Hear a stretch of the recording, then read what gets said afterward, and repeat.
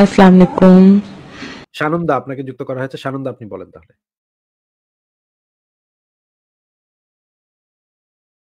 সানন্দা নিজেকে আনমিউট করে কথা বলতে হবে। নিজেকে আনমিউট করে কথা বলেন। হ্যাঁ আসিফ ভাই শুভ সন্ধ্যা। শুভ সন্ধ্যা বলেন। শুভ সন্ধ্যা হ্যাঁ ফারাদ ভাইকেও শুভ সন্ধ্যা। হ্যাঁ আসিফ ভাই এই যে একটু আগে যে ভিডিওটা দেখাইলেন যে হুজুর বললেন যে বংশ ধ্বংস করে দিবে নিবংশ করে দিবে এই বংশটা আসছে কোথা থেকে? বংশ মানে ধ্বংসই হবে কীভাবে? বা বংশটা তার পর্যায়ক্রমে কীভাবে আসছে? মেয়েরা নাকি নারীরা ধ্বংস করে দিবে? তাহলে তার বংশটা আসছে কি কোথা থেকে? হ্যাঁ এই জন্যই তো আমরা বলি যে মনে তার বাপের পেছন দিয়ে বেরিয়েছে না তারা যে কথাগুলি বলে তারা কি একবারও মানে চিন্তা করে কথাগুলো বলে? তা মেয়েদের নারীদের থেকে তাদের সবকিছুতেই দরকার নারীদের অথচ তারা যে কোনো ভাবেই হোক নারীদেরকেই ছোট করে, শুধু নারীদেরকেই ছোট করে। সে যে বলল তোমার বংশ ধ্বংস করে দেবে। তোমার বংশটা আসছে কীভাবে তাহলে? কার মাধ্যমে বংশটা বৃদ্ধি পেল? বংশটা হলো কীভাবে?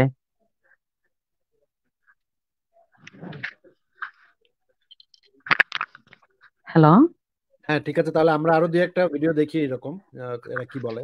দেখেন একটু। বেপর্দা তাকে আমরা বিয়ে করব না। কারণ আমরা শিলা কলা খাব না। আমরা নিজেরাই কলা শিলা খাব। ধরে কোন কথা ঠিক করে তো আমি থেকে শিলা দিতে ওটা খাব না। কারণ এত মাসি পড়ছে, ধুলাবালি পড়ছে ওটা খাওয়া যাবে না। কিন্তু আমি কলা নিব, বোরকা খুলে কলা খাব। ধরে কোন কথা ঠিক কিনা? বোরকা খুলে। কিন্তু আমি কলা নিব, বোরকা খুলে কলা খাব। ধরে কোন কথা ঠিক কিনা? বোরকা খুলে। আগে থেকে বোরকা খুলে শিলা করছে আপনি সেটা খাবেন। খবরদার খাবেন না কারণ ধুলাবালি মাটি পড়ছে, ওটা খাওয়ার গুরুত্ব নাই। বেপর্দা নারী যারা, শিলা কলা তারা। ধরে কোন বেপর্দা নারী যারা আর পর্দা নারী যারা সুসামলা কলা তারা কি একটা অবস্থা কি একটা অবস্থা? আরেকটা শুনি আরেকটা। Every single time every single time ভিডিওটা দেখি সে বোরকাত খুলে কলা খাবে আমি ফ্যাসিনেটিং ফ্যাসিনেটিং ফ্যান্টাসি তার তার চেহারাটার মানে এক্সপ্রেশনটা খেয়াল করছেন? কলা খাব যখন বলে না আবার দেখেন যদি নারীদের নারীরাই তাদের বংশটা ধ্বংস করে তাহলে তার বংশটাই আসলো কীভাবে নারী ছাড়া? তাহলে তো এতদিন ধ্বংস হলো না কেন? তার তো সেই জন্ম জন্মান্তর থেকে তারই তো এই জন্মে আসার কথা না। সে সে এখন যে এই কথাটা বলল এই পর্যন্ত সে আসলো কীভাবে? হ্যাঁ দেখেন আরও দুই একটা ভিডিও দেখেন আপনারা। আমি একটু ছাড়ি। বেগম রোকিয়া জাতির জন্য কলঙ্ক। বেগম রোকিয়া বাঙালির জন্য কলঙ্ক। এরকম যত বোকা তিন নম্বর অশিক্ষিত নারী আছে সব জাতির জন্য কলঙ্ক। কত চমৎকার কথা, কত চমৎকার কথা।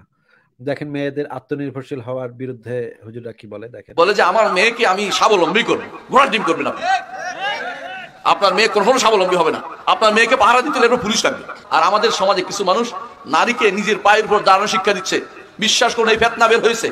ইউরোপ, আমেরিকাকে শেষ করে দিয়েছে। কাফেরদেরকে নিঃশেষ করে দিয়েছে। এখন মুসলিমদের ঘরের ভিতরে সেগুলো ঢুকিয়ে দেওয়া হয়েছে। এগুলো এত কঠিন বিপদ আপনি জানেন না। যেখানে এটা ঢুকছে, সেখানে শ্বাস পরিবার ধ্বংস করে দিচ্ছে। পরিবার থাকতে চায় না। অনেক মানুষ আমার কাছে এসেছে যে আমার তো টাকা খাওয়ার লোক নাই। টাকা খাওয়ার অভাব মানে লোক নাই। আমার আমার স্ত্রী কেন চাকরি করবে? সে কার কাছে থাকে দুপুর পর্যন্ত বিকাল পর্যন্ত আমি জানি না। আমার সন্তানকে দেখবে কি একটা অবস্থা চিন্তা করছেন? কি মানে নোংরা নোংরা বাজে মানে। আসিফ ভাই সবচেয়ে কষ্ট লাগে কি জানেন? যেসব নারীরা চাকরিও করে আবার এই ভিডিওগুলো শুনে তারা কিন্তু আবার এটাই সাপোর্ট করে। তারাও সাপোর্ট করে। তারা কিন্তু বলে না যে আমাদেরকে অপমান করল বা এটাই তারা কিন্তু সাপোর্ট করে। অনেক নারীরাই আবার সাপোর্ট করে এটাকে। আচ্ছা মনে হয় আরও একজন মানে- মনে হয় যুক্ত হয়েছেন। আমি একটু এক সেকেন্ড আমি একটু আরেকজনকে যুক্ত করে জিজ্ঞেস করি তো। ফারহানা আপনি একটু কথা বলেন তো। ফারহানা আপনি একটু কথা বলেন আনমিউট করে কথা বলেন। দেখেন মাইক্রোফোন বাটন আছে হ্যাঁ। হ্যালো ভাইয়া। হ্যাঁ বলেন।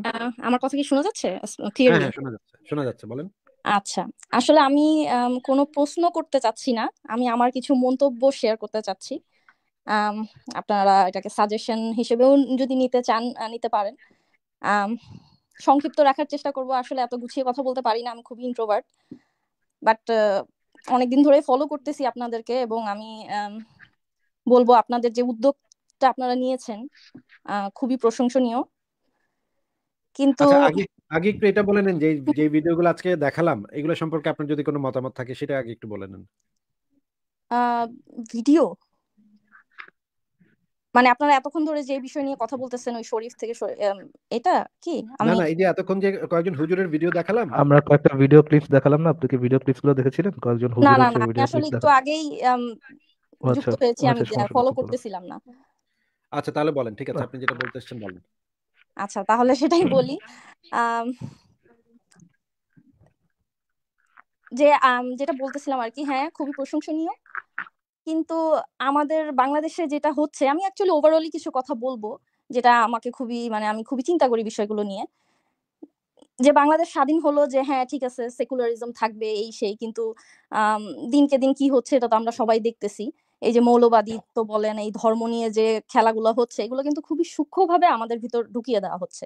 এটা কিন্তু একদিনে কিন্তু তারা করেনি। আমরা যারা নাইনটিজ এর ছেলেপেলে আছি, আমরা অতটাও এত কিন্তু গভীরভাবে জিনিসগুলো তখন বিশ্লেষণও মানে দেখিও নাই যে মানে তখন ফেসবুক ছিল না, এই সমস্ত হুজুরের ইউটিউব এগুলা ছিল না। তো এই জিনিসটা এত প্রচার পায়নি অ্যাটলিস্ট আমার এক্সপিরিয়েন্সে তো পাইনি কিন্তু এখনকার বাচ্চাদের মধ্যে এটা আরও বেশি বেশি ভাবে এটা ঢুকে যাচ্ছে। কারণ এভরিথিং ইজ অ্যাভেলেবল তো যেমন বাংলাদেশে আমরা ছোট থেকে কি শুনে বড় হয়েছি? অন্য ধর্মের লোক কোনোদিন ধর্মটা কিন্তু উচ্চারণ করে নাই। সে মুসলিম না হলে সে বিধর্মী। বিধর্মী ওয়ার্ডটাই তো একটা নেগেটিভ ওয়ার্ড তার যে একটা স্বতন্ত্র ধর্ম আছে, এইটা তো কেউ বলে না। হ্যাঁ বিধর্মী। হ্যাঁ যারা বিধর্মী তারা কি করে? হ্যাঁ এরা মদ খায়, এরা খারাপ, এদের সংসার থাকে না, এরা যারও যে এই সেই সমস্ত নেগেটিভ কথা শুনে শুনেই আমরা বড় হয়েছি আর এখন এগুলা আরও বেশি প্রচার হচ্ছে, বাচ্চারা আরও বেশি দেখতেছে।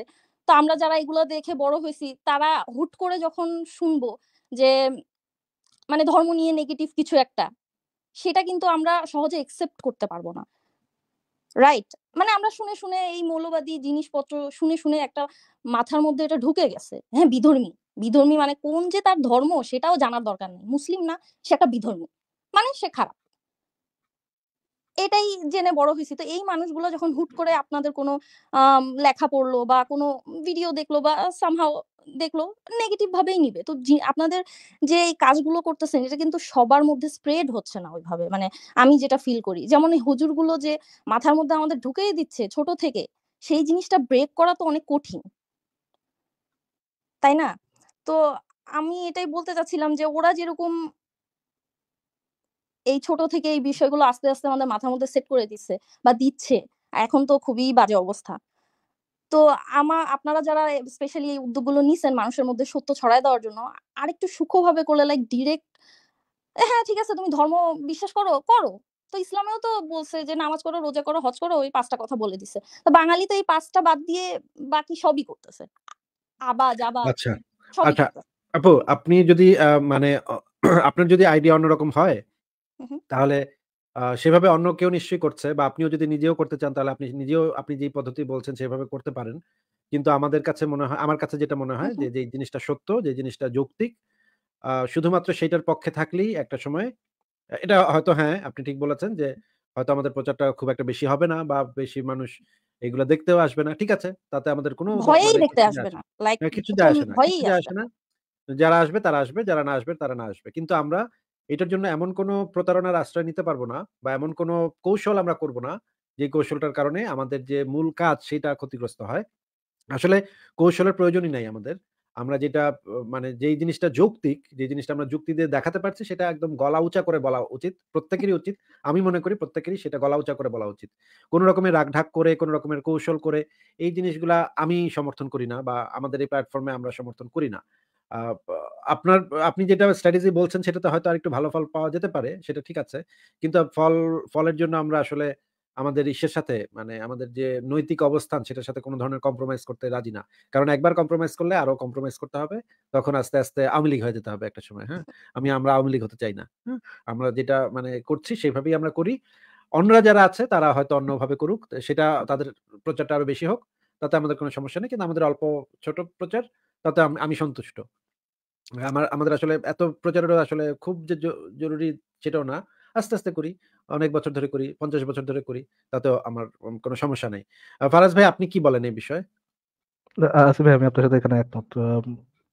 আমার মনে হয় মানুষের সাথে ইয়ে না করে, ওই কোনো ধরনের প্রতারণার আশ্রয় না নিয়ে, যেটা সত্য সেটাই বলা উচিত, যেন মানুষ আমাদেরকে কোনো রকম প্রতারক না ভাবে এবং যদিও এটা স্লোলি কাজ করবে মানুষ এটা দেখতে চাবে না, ধীরে ধীরে ধীরে ধীরে মানুষের মধ্যে টলারেন্সটা বাড়বে, আশা করা যায়। এবং ধীরে ধীরে তারা এটা একসেপ্ট করা শুরু করবে। বাট আমরা যদি আগে বলে যে আচ্ছা আপনাদের ধর্ম ঠিক আছে আপনাদের ধর্ম ইয়ে আছে এটা আমার বলা ঠিক এটা আমার মনে হয় না বলা ঠিক হবে। কারণ আমরা তাদের অন্ধবিশ্বাসটাকেই বরং একটা সমর্থন দিয়ে দিব। সরি আপু আমরা আমরা তাদের অন্ধবিশ্বাসকে সমর্থন দিতে পারব না। কারণ তাদের আমি বেসমেন্টটাই হচ্ছে অন্ধবিশ্বাস। এই যে আপনি দেখেন যে ঘৃণাগুলা যে ঘৃণাগুলা বিষয়ে আপনি আপনি আমি সবাই কনসার্ন এটার মূলটা কিন্তু এটার ধর্ম মূলটা কিন্তু মানে ইমান বা বিশ্বাস বা অন্ধবিশ্বাস যেটাই বলেন আর কি কেননা মোহাম্মদ বলে গেছে মোহাম্মদ করে গেছে তাদের কোরআনে লেখা এই জিনিসগুলা। এই জন্য তারা অন্ধত্বটা ফলো করে। এটা মানুষের প্রতি ঘৃণাটাকে বজায় রাখে। নাহলে কিন্তু করতো না। বাট আমরা যদি প্রথমেই বলে দিই আছে ঠিক আছে আপনার ধর্ম এটা বলো আপনার ধর্ম সেটা বলো। ওটা যদি না বলে তাদের যেটা অন্ধবিশ্বাস সেটা যদি ধরিয়ে দেয় যে এটা এটা অন্ধবিশ্বাস এবং এটার পিছনে রিজনিং নাই আমার মনে হয় at the end of the day এই জিনিসটাই বেটার কাজ করবে আর কি হ্যাঁ তা তো অবশ্যই। এটা তো আমি বিশ্বাস করি। আপনারা যে উদ্যোগটা নিয়েছেন মানে হ্যাটস অফ কিন্তু আসলে দেশের যে অবস্থা চলতেছে ইউটিউব ফেসবুক খুলতে পারি না এই হুজুরদের অত্যাচারে আর ছোট ছোট বাচ্চাদের মধ্যে এটার যে কি এফেক্টটা পড়তেছে আপনারাও নোটিস করবেন। দেখেন এখন আমরা যখন টিনেজ তখনও এরকম হিজাব এগুলা, এই নববর্ষ কেন করতেছো, এই করতেছো, এত শুনি নাই। এখন যতটা দেখি মাথার মধ্যে মানে ছোট ছোট বাচ্চাদের মাথার মধ্যে গুগোবর চলে আসতেছে। মানে বিষয়গুলো আর নেওয়ার মানে নিতেও কষ্ট হয়। মানে কি বলব? বিষয়গুলো মানা অনেক কষ্টকর। এই জন্যই মানে আমি চিন্তা করতেছিলাম যে, আপনাদের প্রচারের আশায় তো আপনারা হ্যাঁ কতজন ফলো করল, এটা তো আপনারা কেয়ার করেন না। করলে তো আর এত রিস্ক নিয়ে এত কাজ করে যেতেন না, সেটা তো অবশ্যই। বাট এখন বিষয়টা হয়ে গেছে, আমি মাঝে মাঝে মানে ডেসপারেট ফিল করি যে, এই মানুষগুলো তো এই মানে ভয়েই এগুলা খুলতে চাবে না। আল্লাহ আল্লাহ আল্লাহ গুনা দিবে।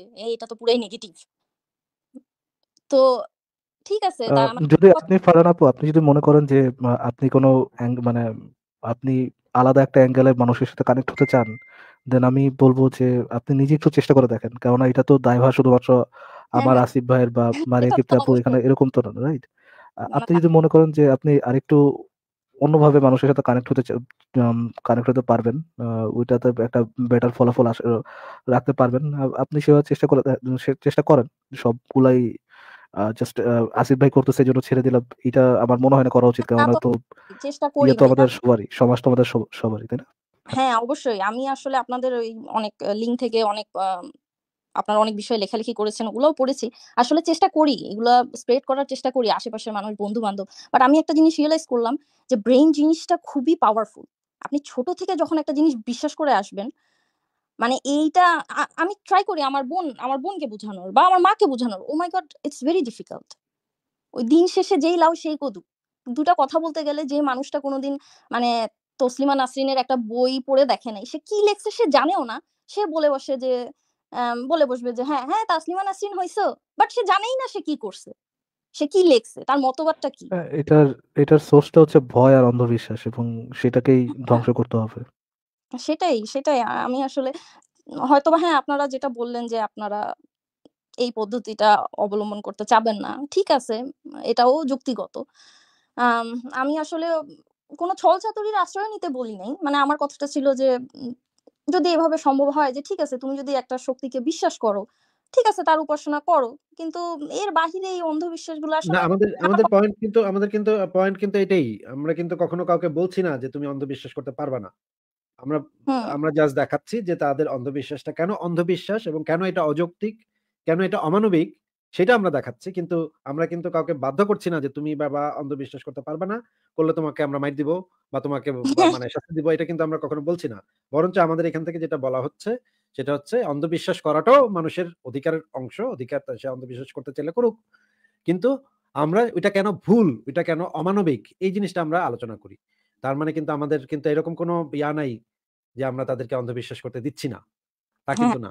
হ্যাঁ আপনারা তো অবশ্যই আমি একটা পোস্টও দেখলাম যে ঠিক আছে শরীফ শরীফার পেজটা ছিঁড়ে ফেলছে এটা তার অধিকার আছে। আপনারা যুক্তিগত কথাই কিন্তু বলেন বাট এই যুক্তিটা তো সবার জন্য আসলে আই উড সাজেস্ট যে আপনারা অন্ধবিশ্বাস বা এটা প্রমোট না করেন বাট একটু সহজভাবে যদি আপনাদের লেখাগুলো যেগুলো লেখেন ব্লগের মধ্যে বা সামথিং এটা যদি আরেকটু সহজভাবে সহজভাবে না কথাটা ভুল ওয়ার্ডটা লাইক যে মানুষের জানি না এটা আমি কীভাবে বুঝাবো। যে একটা আচ্ছা আপনাদের আর্টিকেল একটা মানে শিরোনামটা দেখেই ভয় পেয়ে যাবে ওরে বাবা এটা তো পুরাই মানে অ্যাটলিস্ট ভিতরে ঢুকুক দেখুক কি লেখা না আমরা চাই যেন আমরা চাই যেন জেনে বুঝেই ঢুকুক আমরা চাই যেন জেনে বুঝেই ঢুকুক বুঝেই ঢুকুক যে আমরা ধর্মের বিরোধিতাই করতেছি।